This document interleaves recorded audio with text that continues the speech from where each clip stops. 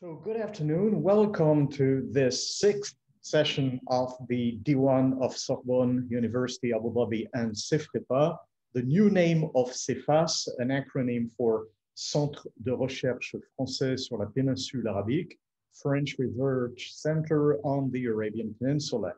Our guest tonight is Dr. Marion Breteau, who is Assistant Professor of Anthropology at the University of Kuwait.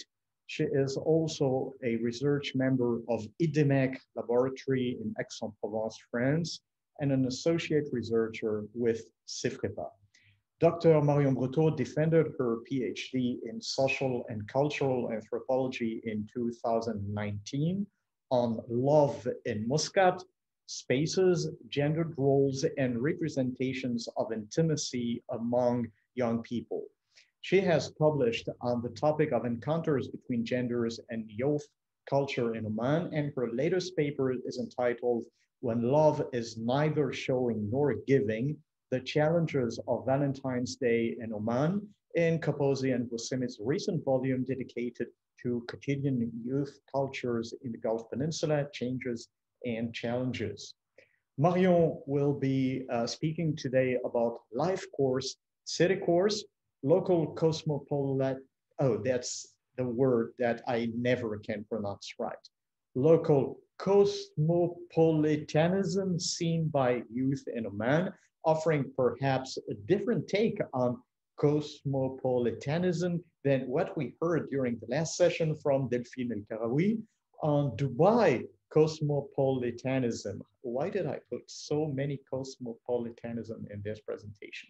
Since as Marion phrases it, the Omani capital is distinguished from other cities in the Gulf region as it rather tends to illustrate a form of local cosmopolitanism.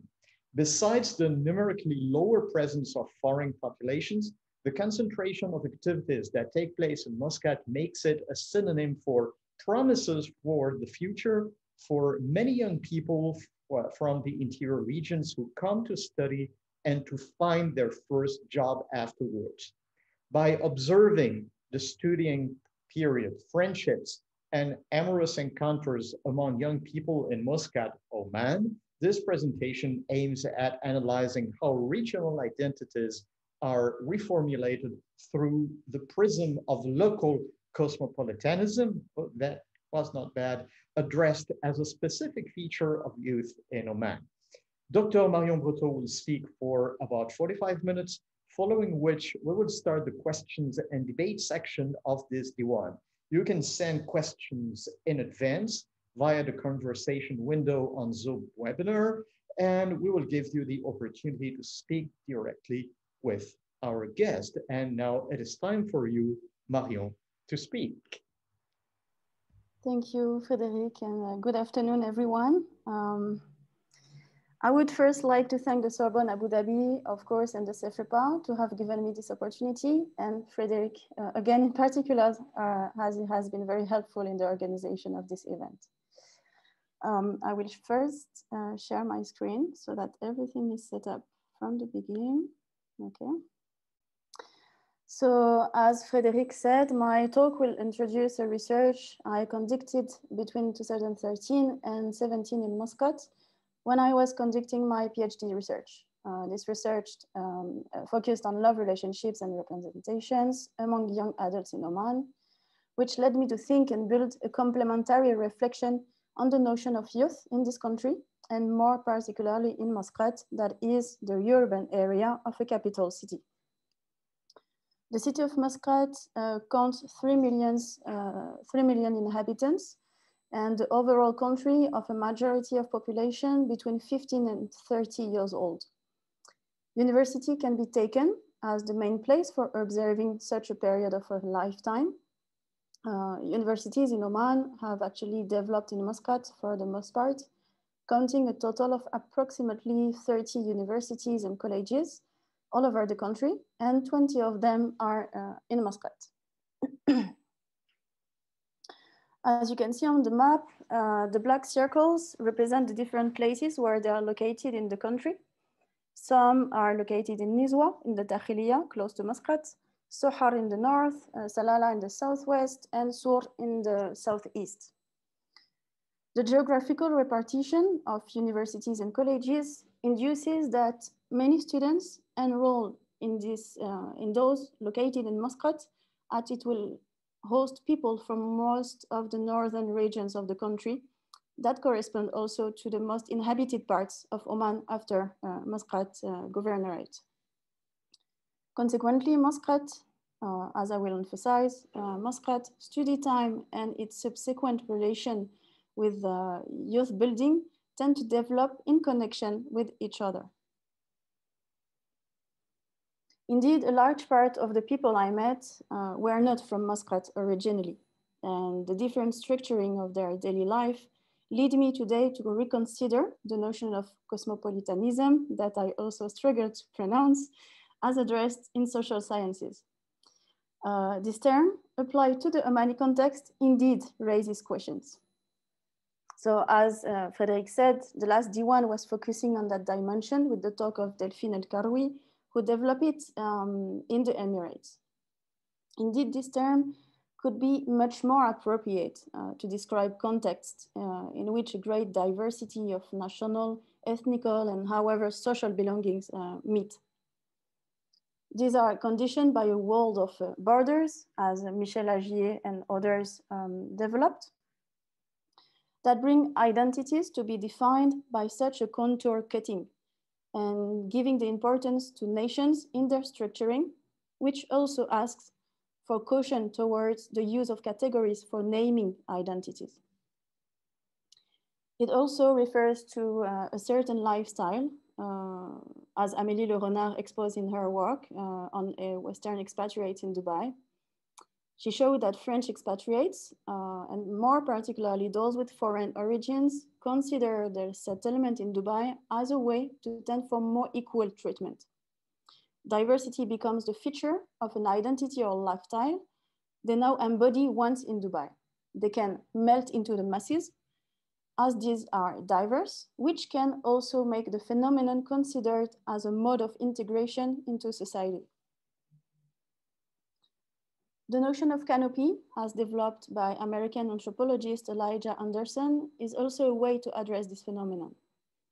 Uh, applied to the North American context, this term is defined as spaces that gather individuals from very various origins, cultural, religious features, who do not, do not have the occasion to be gathered as elsewhere and otherwise because of the compartmentalization of the communities among the population.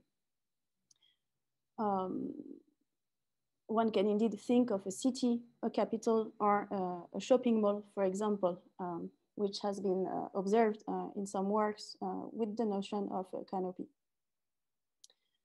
Muscat, in comparison with the Emirati cities and uh, what one would consider as a cosmopolitan city, does not gather all the required elements normally expected to be considered as such. Indeed, there are much less diverse populations in terms of nationality, as the half of the population is foreigner, when in the other Gulf countries, these are sometimes more than 70 to 80, 90% of it. But the notion of being a foreigner in Muscat appears to be analyzed, um, and this is what I will do, on a smaller scale. To be cosmopolitan, a place or a phenomenon would also tend to be associated to another element. The feeling of encountering the radical otherness. In other words, can a place or a practice be defined as cosmopolitan as long as it gathers features of complete differences, people from radical origins? Hence, what scale should be used to qualify this radicality? What remains to qualify it, uh, to qualify Muscat as a cosmopolitan then is the very interactional uh, aspect of social life occurring there. What also matters, as we can see in Anderson's definition of the canopy, is that the people gathered uh, would tend to be in relations of power or holding heterogeneous kinds of power. Being gathered by a common practice or in the same space, hence help individuals uh, position themselves, experience their privileges or precariousness on the contrary, in the very moment of the interaction. By this, I mean that, for example, uh, privileges can appear through symbolic aspects or bodily habitus, gestures, behaviors, ways of speaking, uh, ways of dealing with, with the others. This idea of uh, the heterogeneity of power is, um, can also be found in Anouk de Koning, who observed uh, cosmopolitanism in Egypt as a lifestyle also for a purpose to distinguish or stand out socially. As analyzed in Abu Dhabi, a large part of youth is what one could uh, call the second generation of Arab migrants, or what Laure Assaf named Arab youth.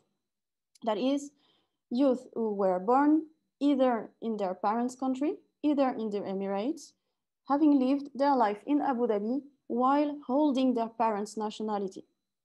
This in the Gulf uh, makes a great difference and a great particularity as a person enlargement on the legal and ordinary, life levels rests on this very uh, specificity. In this configuration, uh, otherness is also a nuanced one, as these Arab youth uh, develop a social life and identities on the basis of what I would name uh, Arabness, whatever the national uh, origin. So if cosmopolitanism refers to evolving in an environment defined by radical orderness, as it could take, take place in Abu Dhabi, there's also an effect of recomposing identities on the basis of common features. At the end, what makes um, these youth cosmopolitan individuals is that this recomposition occurs by the intervention of indeed also very different and outground international belongings and practices in their daily life by the presence of uh, an imposing diversity. Other dimensions, such as the variety of legal status, make individuals live as foreigner in their own city uh, always, which is another aspect to take into account in the Emirates uh, context. With that in mind, cosmopolitanism is in Muscat uh, rather what I will call a local one, and it induces similar dynamics uh, of identity recomposition in an environment of diversity, but on a very local, regional level among the national population. Universities are a telling example, as I said, for observing the repartition of the population in terms of national belongings and could eventually uh, refer to the notion of canopy too. Uh, foreign students are few. Uh, they, can, they can't uh, enroll in universities if they do not hold scholarships and specific agreements.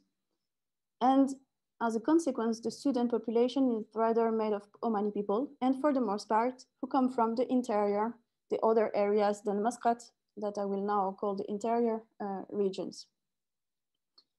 The reason is indeed uh, the few presence of colleges back there. And in addition, many of them face the issue of not being accepted in the university program of their choice in their own uh, city, which brings them uh, to Muscat.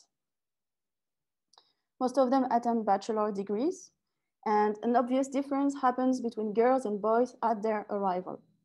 Some campuses provide with accommodation, as it's the case for SQU, the Sultan Qaboos University, the main university, public one of the country, but only for faculty, staff, and female students. These are collective dormitories, uh, and buses would drive them from their dorm to the main center of the campus, even though these are not too far uh, by foot. Girls can leave the campus by respecting a curfew, a curfew time, those who live in dorms uh, are for the most part girls who are originated from the rural uh, areas.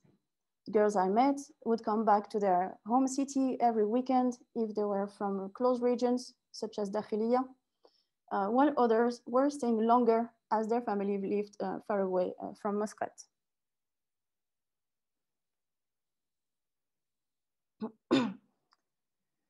Those who do not uh, have the possibility to be accepted in the campus's uh, dorms uh, live in shared flats close to the university. Uh, and one can see on the map that the area of El Khud Sadisa, uh, in purple uh, on the map, it's a, it's a recent neighborhood, uh, still under construction, is made actually um, of a lot of flats occupied by students. That is the closest from SQU, that's in, uh, that is in yellow on the map. This area remains quite separated from the original uh, neighborhood which is in, in red on the map. Uh, this, this red spot is the, is the zone where they can provide themselves with grocery and other services. Um, in addition, Al-Khod al-Sadisa, Al-Khod 6, uh, is also close to another area, which is uh, the green one, where the KOM, uh, Knowledge Oasis Muscat, uh, a business incubator, and two others, two other colleges are located, as well as uh, student flats. The KOM, the Knowledge Oasis Muscat, hosts uh, fresh graduates for internships and various programs for youth integration into the job market, which makes this area as a whole a concentration of youth professional, professional activities. This picture is the main road that brings to El Khod 6 on the left and SQU further on the right. And here, um, this picture shows the neighborhood of El Khod 6, El Sadisa, um, and we can see alternate, uh, alternates between private houses uh, and on the main road in the background, residential buildings where dormitories are located. Some share flats uh, are formalized, uh, those for women, for example, meaning that they would have a curfew to respect and a caretaker who is in charge of the housing organization. Excuse me, Marion, uh, the slide is slightly on the side. Yes, this is perfect. Thank you. Sorry for interrupting you. And now, how about now? Is it fine? Yes, it's perfect. Good. As for the male side, Dorms are reserved uh, for girls on the campuses, as I said. So the, the, the, boys that I met lived in shared flats, also in this neighborhood, but these uh, were more informal as these were groups of friends often taking a flat together and sharing the expenses. So when young adults coming from the rural areas arrive in, in Muscat, they first have to deal with this very concrete aspect of life dealing with everyday life by themselves, having to find a flat, to cook for themselves, to take care of their laundry, deal with other peers in their accommodation, and eventually study. So the dimension I want to draw your attention on is that these steps into the world occur in the very specific social fabric of Muscat.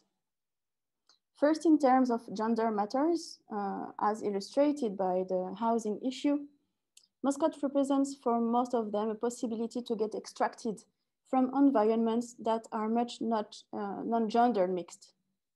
As a female student stated to me, university was a big jump in her life, uh, as she had to deal with other men than her own male family members. She found this was providing her with confidence and, and knowledge to cope with the fear she would previously feel while interacting with men. On this picture, uh, we can see SQU graduation day. Uh, men and women are separated from each other, uh, with a woman on the left and men on the on the on the back on the right. Although the, the crowd is big, a separation is explicitly marked between men and women. Opportunities of encounters are obviously determined by situations uh, such as that illustrated here even though social life remains uh, quite non-mixed gendered in Muscat, another element um, helps to reconsider this, uh, which is also the separation from the students' families as they remain in the countryside. To give you the illustration of a situation back in the countryside, um, a 25 years old female student I met living and studying in uh, Nizwa University would have to go to, to university on the daytime. She would come back right after and home and deal with the cooking, the cleaning, and help her younger brothers uh, uh, for their homeworks. When she was late, her mother would call her to ask for coming back home. She was the eldest of her siblings and the only one having her driving license. Her father was working in Muscat during the weekdays, which made her responsible to bring her mother to the grocery shop and other uh, places whenever needed. And she was also the taxi driver for her female fellows uh, she was bringing at university. So the driving license is indeed a great step into uh, more responsibilities, which marks in the countryside as in Muscat, uh, the entering into adulthood. But those who come from the countryside and study in Muscat would be kind of uh, freed from such responsibilities as those as described by this uh, Dakhiliya girl. They would rather have uh, frequent phone calls with their families, for example, until they come back um, in the weekend. Studying in Muscat indeed changes the relations between these interior young adults and their families. Girls' responsibility uh, would rather be up to their male siblings if they had some already living in Muscat, this is what another person, originated from Liwa in the north of the country, explained to me. This is because her older brother was already studying in Muscat that her family enabled her to go study there. Moreover, because this was at the same university as him. She would stay at the campus dormitory when her brother was staying in a shared flat with male friends in El Khodes 6. Conversely, her brother told me his family was expecting more from him uh, than if he stayed in the countryside. His family paid him driving lessons and a car so that he can drive her sister to places in case of need in Muscat and to have them come back every weekend in Liwa. This duty was felt as a constraint for him, as he put it, as something he would not have done before her sister starts uh, studying in Muscat and also because he would come back to his family uh, only every one or two months before.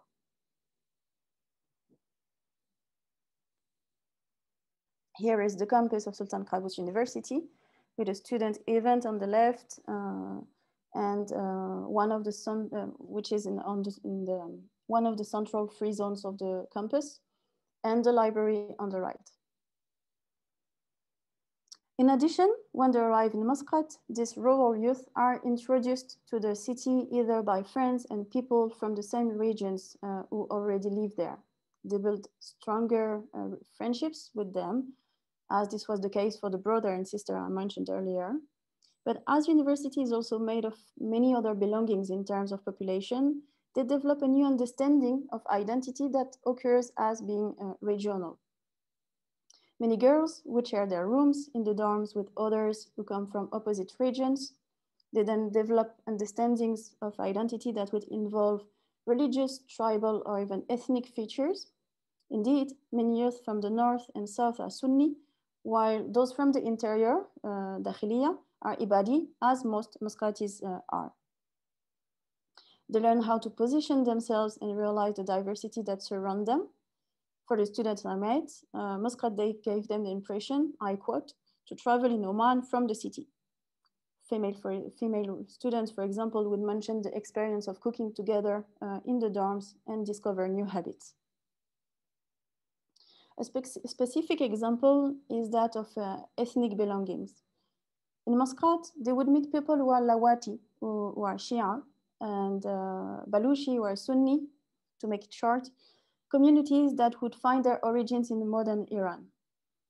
The Swahili communities are, are another interesting example. They are Ibadi and live in Muscat for the majority and kept uh, ties with the African countries their ancestors would have occupied for the two to three past centuries. Their ties uh, with East Africa are still vivid and maintained until today. So interior youth realize the relations Oman holds or would have held in the past abroad, providing them with a larger scope of their own country. As they speak uh, Swahili, which is an entire different language, they would share and have the others discover the, the, their dialects, as interior students would also do regarding their, all, uh, their own regional dialect uh, with one another. Taking into account the new independence and social fabric they live in once in Muscat, some youth develop more amorous uh, relations. Their Muscati fellows would have more difficulties uh, setting up dates and encounters as they can meet people they know or family members in public spaces. On the contrary, those from the countryside uh, leave it more freely, regard this domain. And to quote the brother I mentioned before, what happens in Muscat um, stays in Muscat. A student, another one originated from Liwa, for example, described to me how university and his overall settlement in Muscat gave him the opportunity to meet girls for the first time. And he put it in a way as if Muscat was not only a city or a space, but an experience, that of the first experiences for the entry into adulthood. As he took a position in student associations, he would meet girls for study matters, but he also managed to go out, for frequent uh, coffee shops, and organize uh, rendezvous and encounters outside the campus. Most of the girls he met were also from other areas. Because an implicit attitude of self-control led him to have more interactions uh, with girls who then are not from the same region as him, so that he could be sure his activities and encounters and those of the girls would not be known back in Liwa in the north in his city. As he stated, uh, what matters was the potential consequence of his behaviors on his family reputation back in the city, which shows again how ties would eventually exceed the definition of Muscat as a space only. These relations uh, can end up into marriage, um, which asks the question of this youth encourage in space for their family to be in their future. The case of Ahmed and Fatima, as I will describe, uh, shows how regional belongings find themselves uh, redesigned through the experience of marriage and, um, let's say, Muscati experience. Ahmed is Ibadi and comes from the region of Batinah in the north, and Fatima is from the Sharqiya in the south, and she is a Sunni. As they met at their workplace in Muscat, members of Ahmed's family stated to me that such an alliance would only be possible thanks to the Muscati experience. Following Ahmed's family practices, the wedding and other parties related to their marriage occurred in his hometown in Rostak uh, in the north. Fatima's family then accepted that condition because they also considered that a woman uh, should settle at her husband's place once married. For both their family, the marriage expenses should be on the husband's one. Nevertheless, Fatima's one family accepted participating in, uh, in the costs. Um, the closest members of her family rented a minibus to travel from Sur in the south to Rostak uh, in, in the north. The bride's family decided to hire a group of female musicians in order to ensure having some of their own musical uh, preferences represented, uh, represented at the wedding. The group came from Sur and traveled with the family members.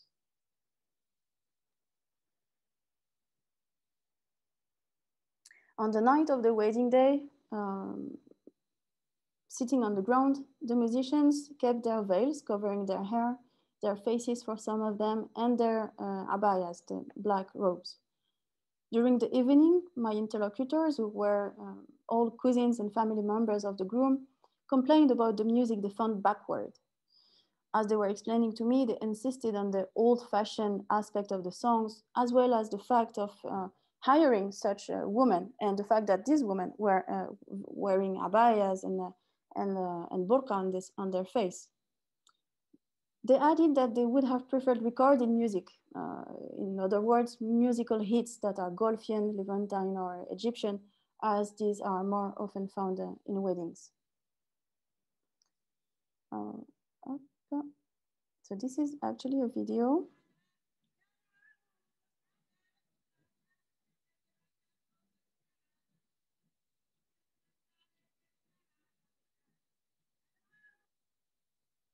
So please excuse me because I'm not a camera woman and very bad in taking pictures, but this was just to give you a small taste of what I'm uh, describing to you.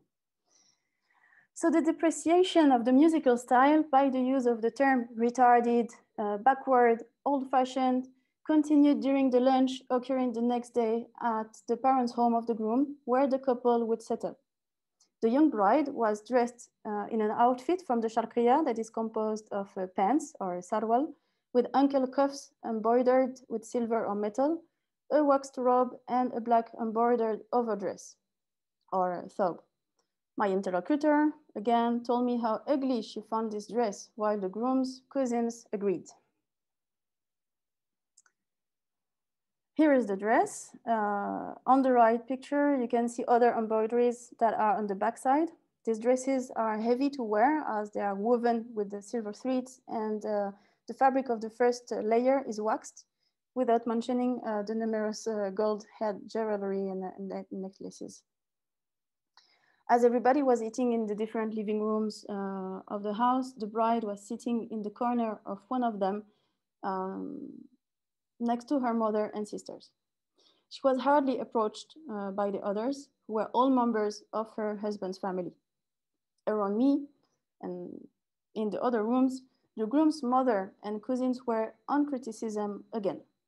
Not only the dress was different from what they were used to seeing, but the most shocking for them was the presence of her mother and sisters. Indeed, this day, also called the Sabahiyya, marked the separation between the bride and her own family. From that day, and for a period of a few days to a week, the brides are waited to remain separated from their own family to stay there and try into a new one. Indeed, this could not happen as Fatima, the bride, uh, came to celebrate her marriage with her family to Rostak, and they would not leave from the very next day as they need a whole day to, to travel, to come and go back. As the bride was showing shyness and reserve, another girl close to me added that uh, the bride's family wanted to practice the public menstruation of the couple's blood-stained bedsheet as a sign of virginity. This practice would have been strongly refused by the groom's family, and my interlocutor told me this was a tradition that one could not see in the Batinah, in the northern region.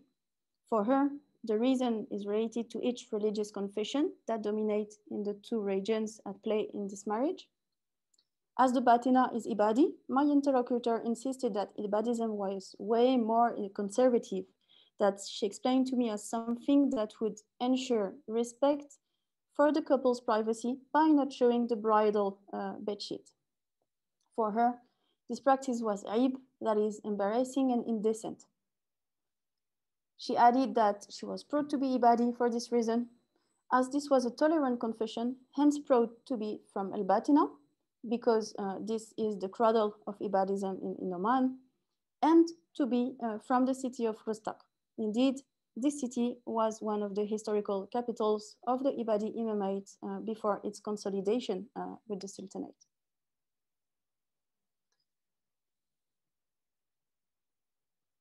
The case of Ahmad and Fatima illustrates how ways of thinking and acting were felt as diametrically opposed, but also how practices and habits are confronted as they managed at the end to find common grounds for certain aspects of the marriage organization.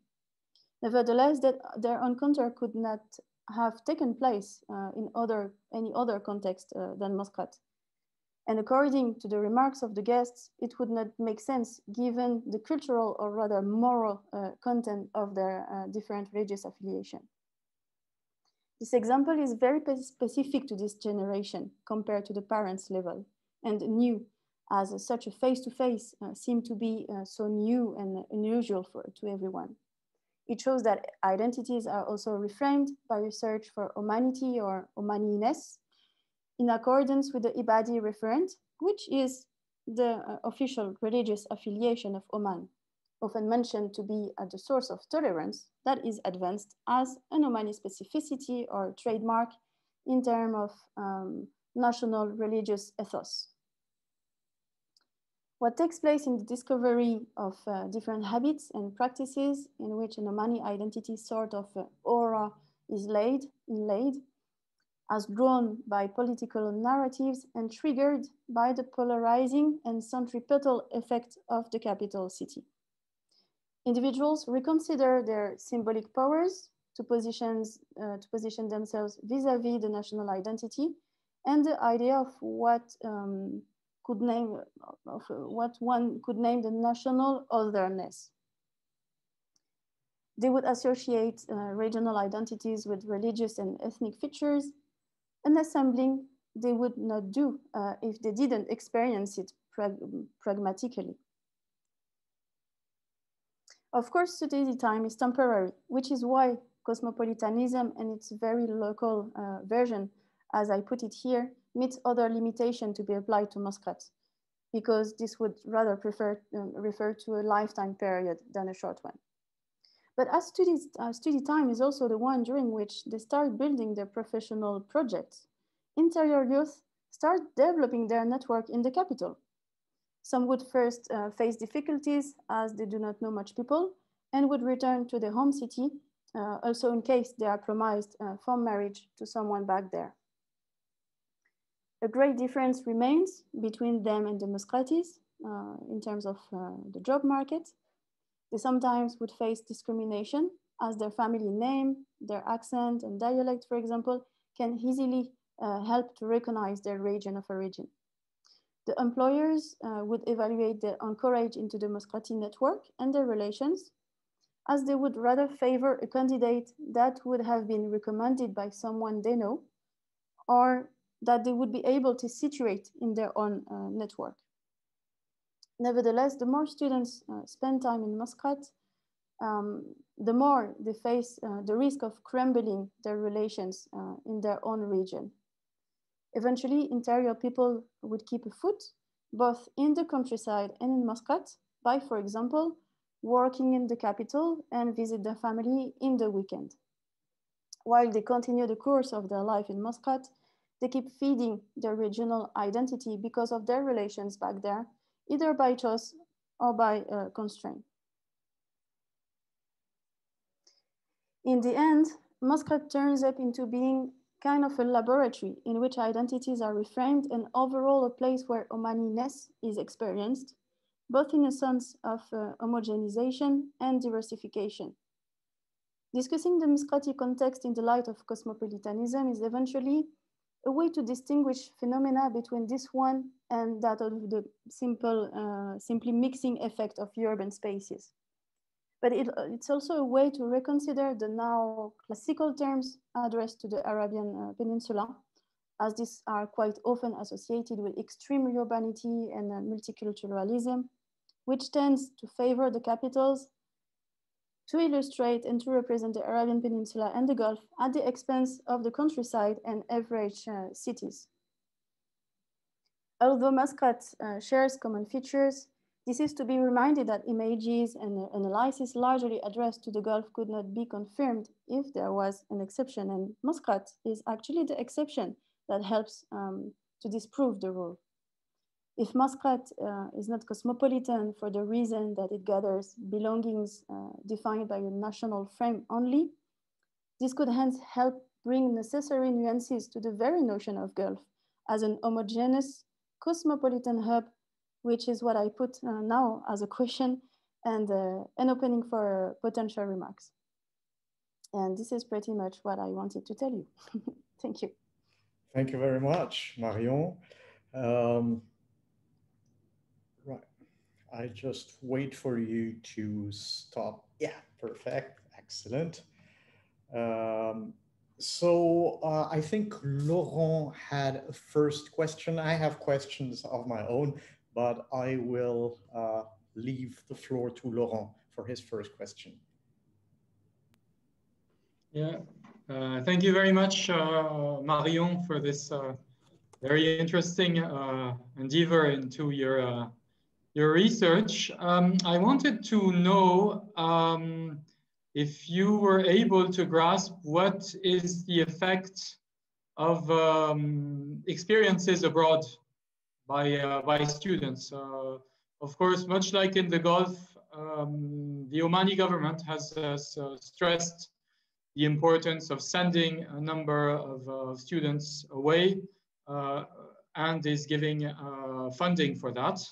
Um, and experiences abroad, particularly in, in the UK, I think, is, is obviously transformative for many of them, giving access to other, other lifestyles. Um, although I've recently, I can't remember exactly where I saw that, but it was an op-ed which was published just a few few days ago uh, in uh, in the UAE, uh, which sort of was critical of the fact that uh, as they were going abroad, Gulf students sort of um, recreated a small gulf um, and were thus not benefiting from the experience fully, uh, meaning that uh, when they were in the UK, basically they would not necessarily uh, uh, speak in English, they would not interact with, uh, with foreigners, um, which in the OPED was, was considered as a, something which was negative because it, it stated that if the governments were funding um, experiences abroad, uh, the reason for that was not only that uh, the, the, the, students would have themselves a new kind of a new experience, but that they would also be uh, sort, so to speak, ambassadors of uh, of um, Gulf societies of their own uh, their own countries abroad, uh, showing a positive image of that. Um, and I wonder if you've had any uh, any feedback on these uh, on these kinds of uh, experiences, which I which I think were probably the most direct types of confrontation to a, a cosmopolitan experience. Thank you, Laurent, for the question. Yeah, indeed, it, what you're saying reminds me of this article from Claire Beaugrand, who analyzed uh, um, the girls, Omani girls' experience uh, at university, and I can't remember where. I think it, it was in Sharjah, or, or maybe in oh, it Dubai. Was, it was in Kuwait. In Kuwait. In Kuwait. Yes. Yeah, and, and, and indeed, she, she, she developed that very point of uh, recreating their own world and not necessarily opening to uh, to to the outdoor one. Uh, from what I could grasp from my own fieldwork is um, kind of a difference uh, always between uh, girls and boys. Um, some boys explained to me how they could uh, have these scholarships from uh, from the Omani government, as you mentioned, and they would travel to the US I have in mind two of them. And they were more talking to me about this experience as um, a place where they, they would uh, do all what they couldn't have uh, done in, in Oman, meeting girls for the first time, um, also um, there's that case of this student that also uh, did kind of a buzz on the internet um, because he decided to work at Starbucks. uh, although he he had uh, enough funding to, to, to live um, appropriately, but he wanted to, he wanted to confront himself, uh, himself with the way his uh, American fellows uh, were living. So this is why he decided to take this, uh, this job. And um, this, this had him uh, confront himself to many other things um, regarding his own society. as what he explained, he, he did a, a Twitter uh, post about the topic and he was uh, interviewed by um, many other Gulf uh, radios and, um, and YouTube channels.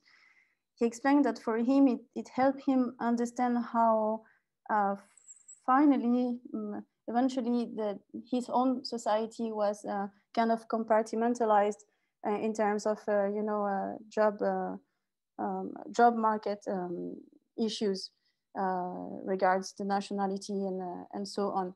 Because um, if he was in Oman, he would have never done such an experience. Uh, as for the girls,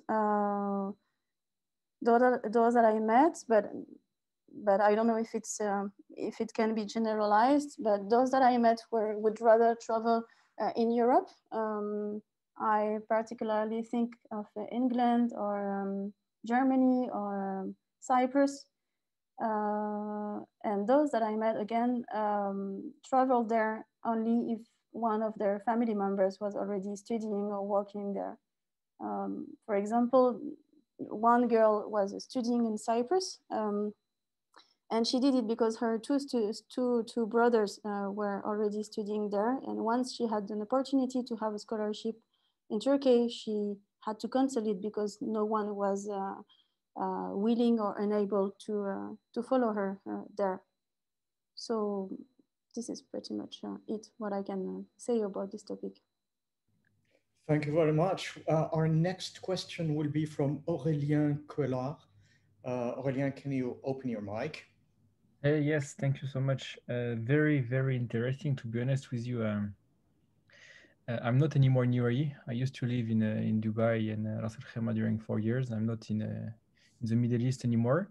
and I was subscribing to the to the Sorbonne newsletter. And when I saw this uh, this conference, I was very interested, so so I joined, and I uh, listened very carefully to to you. Thank you so much, Marion, for for the speech. Um, I was just wondering, like, how is it possible that you you succeed to have interaction with uh, so easily with so many students uh, in Oman? From my experience, I stayed four years in UAE. I succeeded to have one friend, which is local, but it was not in Dubai. It was in Ras Al Khaimah and I think the, the, the, maybe the mindset of the Emirati between Ras Al Khaimah and, and Dubai it's it's a bit different, and it was easier for me to to interact with him. But I was wondering, like, I'm so surprised, but positively surprised huh, that uh, you had the opportunity to interact with so many people, so many students, uh, that they, they, they talk with you openly about their feelings and everything. So I was just uh, wanted to know, like, how did you do, and do you think the same uh, kind of work and uh, uh, deep dive session and deep dive talk that you had with the people in Oman could have be the same in other regions such as Saudi Arabia or um, United Arab Emirates? Uh, that's interesting because I wanted to start my, my talk about that dimension because, uh, as I said, my main topic was love relations. And in anthropology, the main um, methodology is a participative participant observation. And if you want to, to, uh, to use this method uh, for a topic such as love, this would have meant uh, many things that, uh, of course, uh, I didn't do, like falling in love with someone, following, uh, following lovers, or observing, or rather spying lovers in parks, for example. So this is actually why I try to, to adapt this methodology uh, by actually trying to find uh, ways and places to, to follow these youth uh, lives and then gather as a secondary way of uh, observing this very topic of love. So, so in the first, um, on, in the first uh, times, I was actually indeed related to and associated to expatriates or Western places and activities, but this is, that was by you know, touch by touch, contact by contact, um, that I ended up and decided to uh, to follow the youth activities and um, and so I did uh, sport activities. I enrolled to yoga classes, to meditation classes with the with Omani people, and I tried my best to escape from you know the the, the Western and the expatriate environments.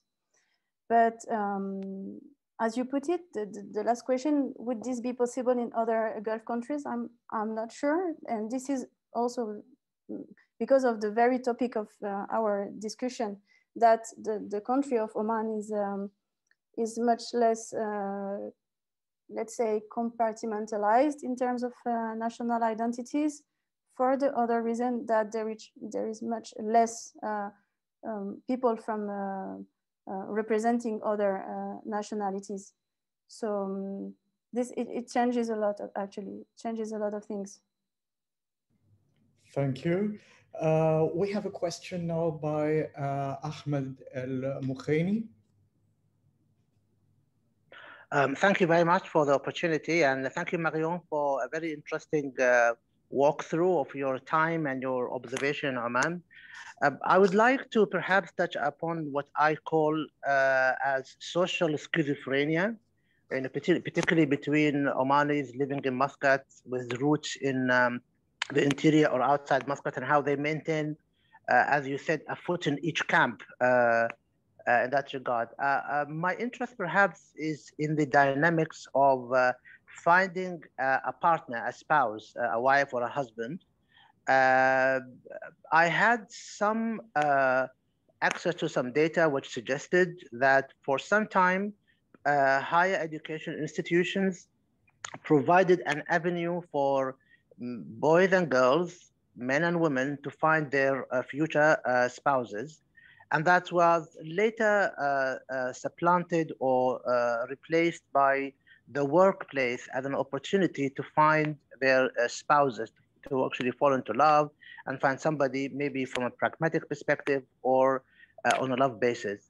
Uh, my question perhaps is to what extent you have been able to observe uh, this dynamic and to observe uh, that the workplace now, uh, to an extent, is providing this opportunity for uh, men and women, particularly young ones, to uh, meet each other and develop their partnership, their uh, marriage. I mean, thank you. Uh, thank you, Ahmed. Um, this is, of course, the limitation of my methodology. so indeed, I could not um, enter too many workplaces or even uh, universities or campuses. So I was, uh, I was observing the public uh, aspect and the public um, uh, side of, of all this happens around there.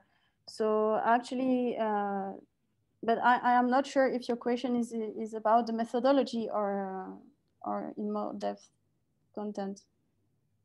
So, but anyway, so if it's in terms of, uh, it was about the content. Have you seen? Have you oh. have you seen uh, in your discussion? Uh, did you see uh, somebody mentioning that uh, they've met this person or they hope to meet uh, somebody during their workplace who would become their, you know, husband, future husband, future wife, or something like this? Yes, yes, yes, and and totally, and and then as a consequence, completely breaking the um, breaking the confidence between the family back uh, in the countryside and um, and themselves, uh, more particularly again for for girls, uh, as they would probably probably be uh, promised to someone uh, back there in the countryside from the family from the family or not. But this is what what happens, yeah. Sorry, uh, so we, we seem to have some technical difficulties with uh, one member of the audience who wanted to ask a question. So uh, Dale Eickelman will be taking his place. Can you ask a question? And MEJF, when uh, your technical issues are solved, it will be your turn. So Dale first.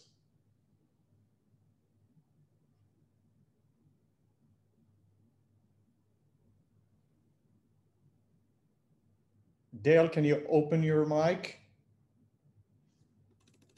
Yes, opening my microphone might help. Thank you.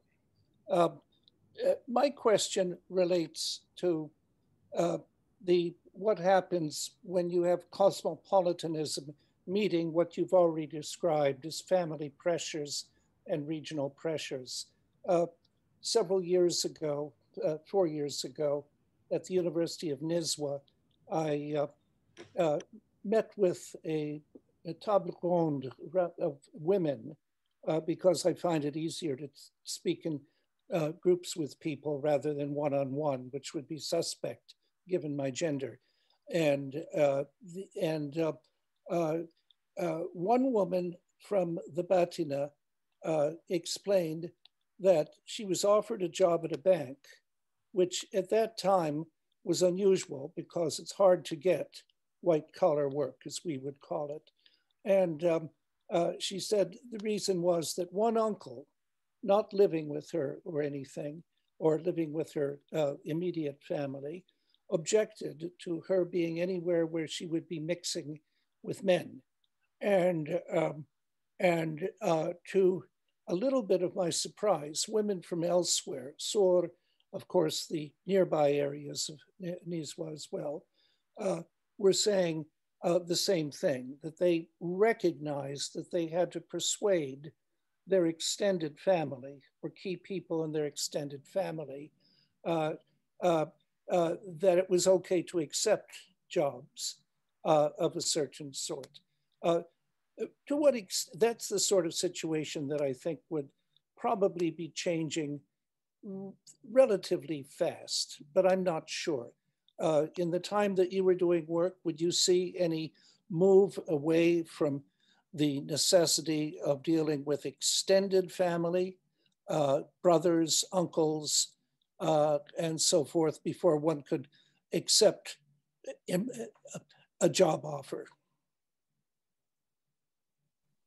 Thank you, Dale. Um, regarding the extended family uh, role in, in this kind of stories, I couldn't answer, answer to you. Um, but what I could see is kind of the same phenomenon. And not only in the Batinah, but also in Dakhiliya. um, many girls, so for, for the record, I stayed for one month in this girl I described in the Dakhiliya, in her house, in her family. So that was very short of fieldwork, but uh, that's, uh, that's uh, my source of information. Uh, what could I, I could have seen is that most of the girls would study um, at Nizwa University or in Muscat um, education or languages so that they can become teachers. Uh, and the main reason most of them were always repeating is that we will become teachers so that we are not in environments that in environments that would be uh, uh, mixed gendered and we would be with children. So we wouldn't have uh, the, the opportunity to meet men. Uh, regards the, the woman who wanted to travel to Muscat for work or for, um, for study offers, um, this is pretty much the same as what you described actually. And sometimes in a very, uh, um, in very high levels of, uh, of anger and, uh, and um, like really breakdown between these girls and, the, and their family back in the countryside. Thank you very much. Our next question uh, will be from uh, MEJF. Um, I don't have a complete name. Uh, can you open your mic and present yourself if it works because you were experiencing some technical difficulties, MEJF Okay, so if this is still not working, then I will uh, ask uh, Abdullah Al-Maani, uh, if you are with us, to ask your question.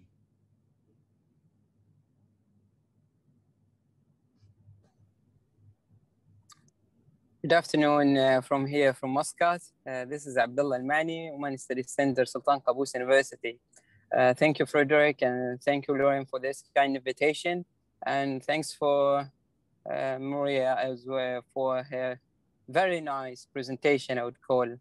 And I can feel uh, the hard work that she put in uh, this research, which uh, took uh, quite long time actually. And I'm happy to, to hear uh, all this information about um, Oman.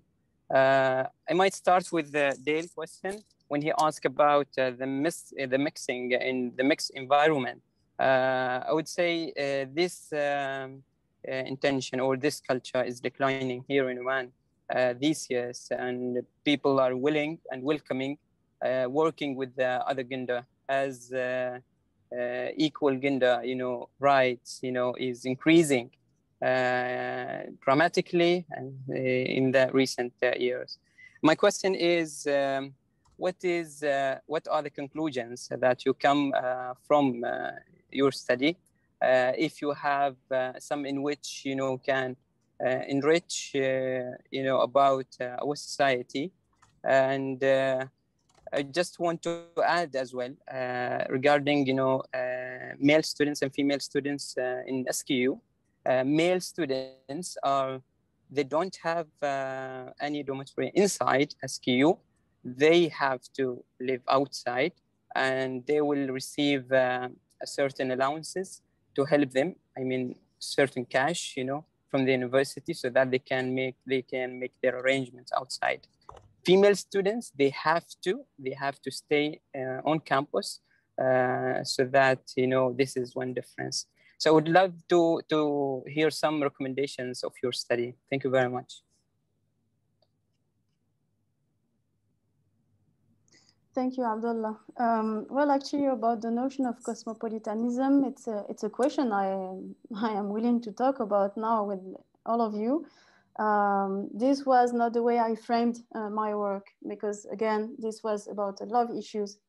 Uh, if you want to know my conclusions about love issues, I would say that uh, um, what was happening, uh, at least between 2013 uh, to, to 17, is the introduction and, and even the invitation and promotion of uh, feelings, uh, feelings, tenderness, and, um, and uh, new ways of uh, dealing between the partners into the marriage, uh, as promoted um, at SQU, for example, with the workshops uh, from, the, from the student associations and from the psychological center, for example, workshops that develop ideas as such by um, promoting closeness uh, between the family members and between the partners and the spouses so that also to cope and to find solutions to deal with the um, relations with the family in-laws, for example. Um, then regarding youth, um, this was also complementary to my research. Uh, but what was uh, kind of uh, disturbing in the environment of Muscat is uh, that like in, in difference with the difference of the other uh, Gulf countries, you cannot uh, just simplify the observation with the national identities, for example, and um, and in Muscat, more particularly, everything is being reframed at the very moment of the interaction. I, what I want to mean by that is that when people would talk to each other, they're really positioning themselves like, oh, what is your family name? name? Oh, okay. And then you would change, uh, you would see uh, the way people for example, change the way they talk, uh, the tone of their voice, whatever. So these, these elements were um, intriguing and um, still, uh, still in progress to be observed, I would say. Thank you. Our next question will be from Lara Christman. Lara, you can open your mic. Um, I have a question about the fact that the young Omanis go often home for weekends, and I um, also have research on Oman, and I spoke to young Omanis too, and um, it was a little bit like um, difficult for them to to go home for weekends because they have uh, in the capital another lifestyle, a more cosmopolitan lifestyle, and then when they go home, um, it's like um, yes, different. And um, what is your experience about this um, mobility and local identity, maybe? uh, for young Omanis? How do they experience the weekends home with their cosmopolitan background from the capital? Thank you, Lara, and I would be interested to see your work. um, yes, the weekend was felt as kind of a constraint, indeed, as I described, either for the boys uh, because they were responsible of their sisters or cousins, female cousins, but uh, also for the girls and in, the, in addition, um, some of those that I followed, so I would have known them uh, in Muscat, and then I would have uh, occasion to go into the countryside. I went to Liwa, for example, with this uh, family. So I would follow them sometimes in, in their, uh, in their uh, countryside. Um, what was making it even more constrained was that um, they would go uh, back in the family for speaking about marriage and for speaking about who you're gonna marry, uh, let's organize the marriage, um, and all these details that, that, as you said, were something that is not part anymore of their life when they are in Muscat, uh, which would tend uh, to them to, to associate also for the very topic of marriage, something as a constraint and something that they cannot even um, uh, accumulate with the idea, with the experience of Muscat. Thank you. Thank you. I will be uh, asking a question by Philippe Pétriat because his microphone is not reliable. So uh, he is uh, wondering about the students who are engaged in couples and uh, those students from rural origins. Do they always plan to stay in Muscat are there couples or partners who once married elaborate plans to move to back to the rural regions or are planning to go abroad? In other words, what are the frontiers of their cosmopolitan imagination? Is it an urban frontier? Is it a global frontier? Yeah, thank you, Philippe, for the question. It's helping understanding to what extent cosmopolitanism is, can be applied to Muscat. Uh, indeed not uh, the idea of traveling abroad, maybe in the more, let's say, liberalized um, uh, classes and milieus, they would do that for a short period. For example, when one of them would um, come back to, to the studies, like in my mind, I have the example of uh, a couple I, I know they traveled to England because the wife uh, uh, came back for, for to university to, to study. Uh, so they went there together, but it, it was considered as, a, it's considered as a, a short time. Uh, but once those who are in couple and want to settle, um, they would consider Muscat indeed. Um, but also like the example I, I described, um, they would either go to, well, most of the time the, the husband place. But then this would mean that the changes are more on the part of the girl again, uh, because they would be the one who would, after discovering Muscat, uh, falling in love and, and other things, then uh, go to another region. So it adds uh, an extra an extra experience and an extra um, discovery in, in their life uh, course. But indeed, the frame, the, the frame is the borders of the country. Um, yes.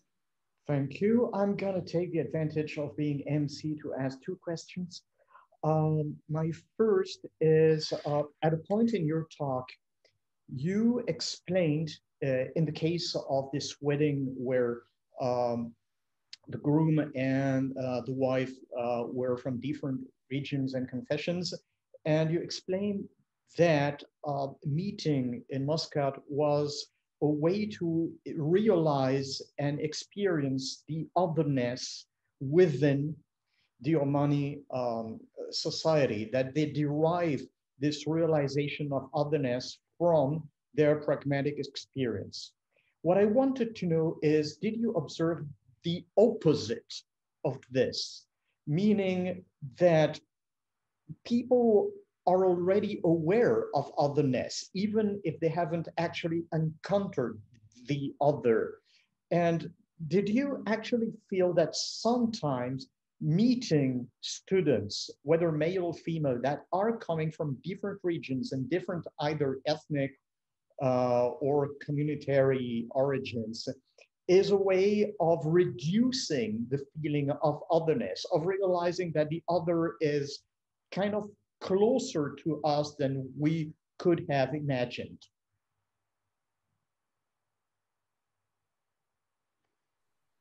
I don't have concrete example in my mind, but it sounds very um, applicable to what I observed.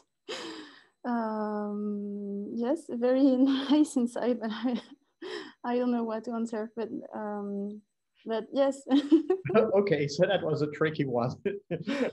yeah, you're kind of, and it's very uh, tiring to be answering all this, uh, all, all, those questions. Okay. My second question was, uh, you described Oman as a very endogamic uh, society.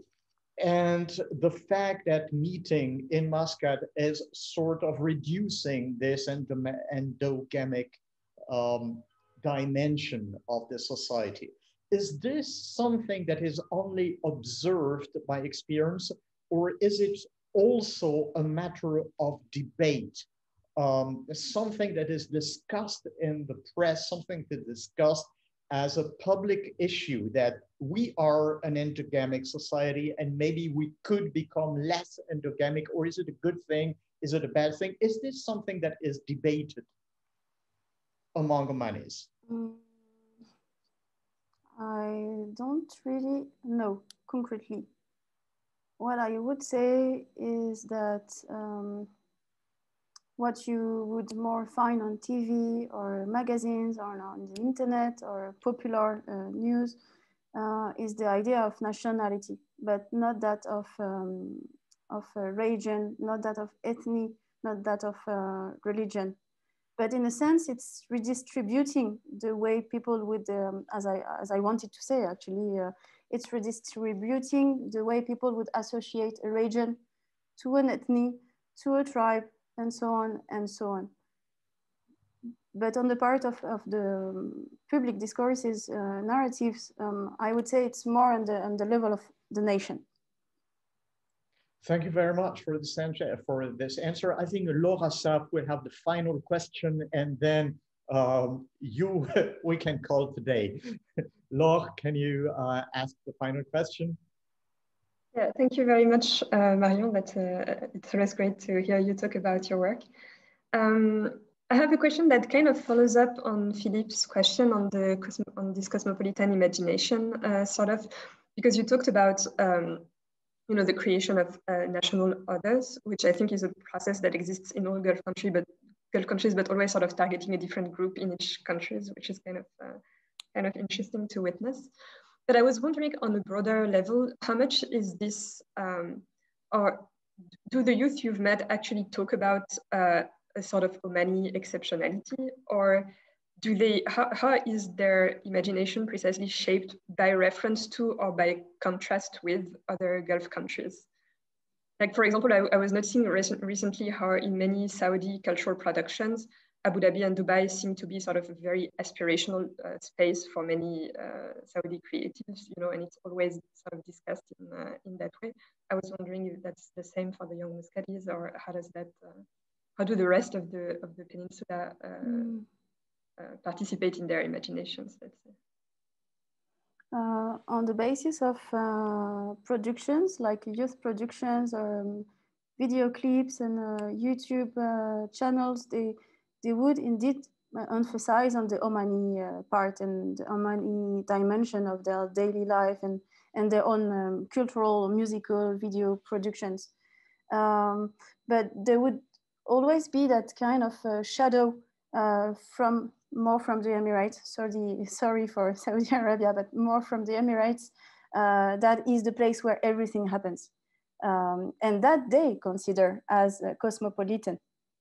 Uh, because they, they, they, would go there to uh, to to escape from from the quiet uh, environment, the quiet uh, environment of Muscat. Uh, even if they, these would be um, um, people from the countryside living in Muscat, the Emirates and Dubai remain the, the reference for whatever happens uh, uh, for them. I actually have a follow-up question to that. Sorry, I don't want to uh, overwhelm you, but um, have you met any working youth? That is, I was thinking about how this also sense of, you know, uh, the UAE being a more cosmopolitan place or this question of mixing when uh, with the mobility that goes with university might also differ for young people who become taxi drivers, for example. Or who, because I guess that's one of the main differences that I see between Oman and, and the UAE, you know, that nationals actually do mix in the professional work at more various levels than they do in, uh, in the UAE. And so I, I was wondering about this. So if I reconstruct your, if I understand well, uh, uh, you will tell me if I'm if I'm right. Um, in what context uh, people would meet uh, in terms of national differences? No, I was thinking about how these um, thinking about cosmopolitanism or about uh, you know what urban life produces in Muscat might differ between sort of working youth or people who have already joined the workforce, in particular at the sort of lower skilled professional levels, um, by comparison with the students, for example. Mm, I think I, I got it. uh, and I would say that, uh, of course, um, once they arrive uh, in the job market, they have more occasion to deal with people with a um, much more uh, bigger otherness. Uh, because as I said, uh, universities don't, um, don't host much uh, foreign students. And again, this would be people with scholarships and they would stay for the uh, four or five years of their studies. Um, and, and yes, and, and there is also a big question uh, about either you would uh, uh, you would enter in the job market through the private or the public sectors, because according to each one, you would find more foreigners, and then you would have um, a less, let's say, comfort or safe zone. And if you are in the private sector, you would have uh, more um, no sorry it's the opposite. If you if you enter in the public sector you you then will be with the more omani people. Uh, but then this is a, another matter of financial issues that make them um, trying to to enter into the, the, private sectors. But again these are less uh, appreciated because of uh, of the very presence of, uh, of foreigners thank you very much marion um, maybe we'll have just uh, not a last question, but remarks made by uh, Ahmed Al, uh, Al uh, saying that ethnocentrism is a common feature of Gulf country nations, uh, of Gulf countries as they seek to formulate their unique identities. And he adds that um, Omani identity or Omani particularism is often celebrated in public discourse and at times undermined in private discourse. There is almost a moral obligation to highlight Omani exceptionalism, um, says Ahmed. Maybe you want to have a last reaction to this remark? Uh, no, but thank you. But just what you were saying, so what you were saying about what Ahmed said is that the ethnocentrism by, by definition is also universal. So yes, but, but yeah, it was uh, very uh, good to know.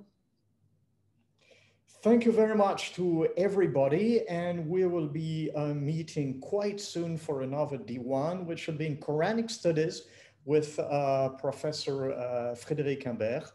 Uh, thank you everyone for this session and thank you very much Marion for this um, exceptionally interesting talk on Omani youth.